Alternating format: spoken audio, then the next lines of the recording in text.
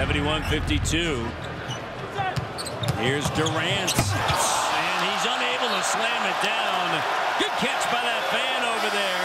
That'll get the crowd going. That's got Drake out of his seat. Yeah, here we go. He has something to cheer about.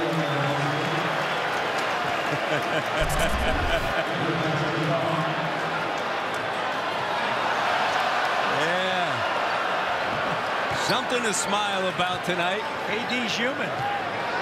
He's laughing. He knows.